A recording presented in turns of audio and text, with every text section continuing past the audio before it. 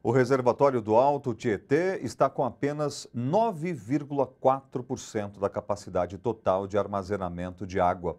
No mesmo período do ano passado, esse índice era de 31,7%. Os prefeitos da região se reuniram na cidade de Suzano para discutir o agravamento da crise hídrica. As previsões mostram que o abastecimento pode entrar em colapso no início do próximo ano. A crise hídrica da região se agravou muito com o socorro dado pelo sistema Alto Tietê Alcantareira. A expectativa era de que as chuvas de novembro dessem um fôlego ao sistema. Novembro está chovendo menos que ano passado, então começou mal. Mas acredito que dezembro, janeiro ela chegue e recupere pelo menos o nível necessário para atravessar o próximo verão. A gente recuperar com folga vai ser difícil. Vai levar um bom tempo ainda para que isso se recupere, que retorne. Né? O prefeito de Guarulhos e presidente do consórcio dos municípios do Alto Tietê, Sebastião Almeida, diz que a crise tem afetado centenas de cidades.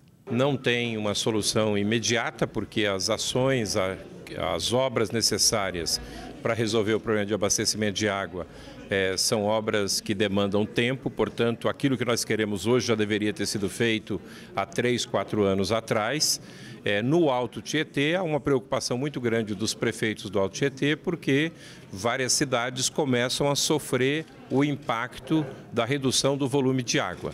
É, o município de Guarulhos, por exemplo, vem tendo água no sistema de rodízio, um dia com água e um dia sem água, e a nossa esperança agora é que possa chover o mais rápido possível para voltar a recuperar os atuais mananciais. A cidade de Poá é a única estância hidromineral da região e teme que suas duas fontes sejam afetadas. Temos lá duas fontes de água mineral, que é a fonte áurea e a fonte primavera, que é aquilo que eu digo, né? De sede nós não vamos morrer. Mas não é só a água, não é só para matar a sede. Precisamos da água para muitas outras questões que envolvem a vida do ser humano e a vida animal.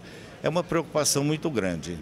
E o que nós estamos fazendo nesse momento é trabalhar a questão do consumo racional da água.